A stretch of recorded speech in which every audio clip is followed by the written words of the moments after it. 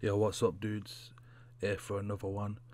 So, in this one, I'm going to be helping you out with the Beckham's Best Dead Ball Dynamo section uh, of the objective, um, where you got to score five free kicks. Now, this is going to take forever if you do it naturally. So, I'll show you how I did it. Um, I went into friendlies mode. You need two controllers for this and I did this on my PS4.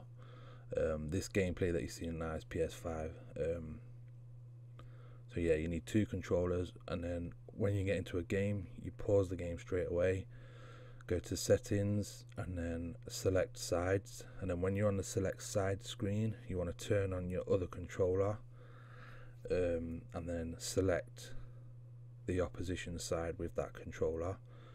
Uh, then you want to go back. So basically, you'll be playing against yourself at this point. Um, then you want to stand at the edge of the box and then just foul. You know what I mean? Simple as that. And then just keep doing it until you score. You can move the keeper out of the way, move the wall out of the way so you can just bang it straight down the middle and score. Pretty simple. So yeah, that's that's about it really. It's as simple as that.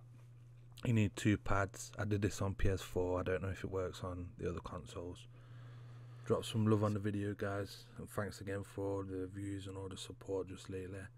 Um, hopefully this gives you a little bit of an easy experience trying to do this objective. And I'll catch you in the next one. Cheers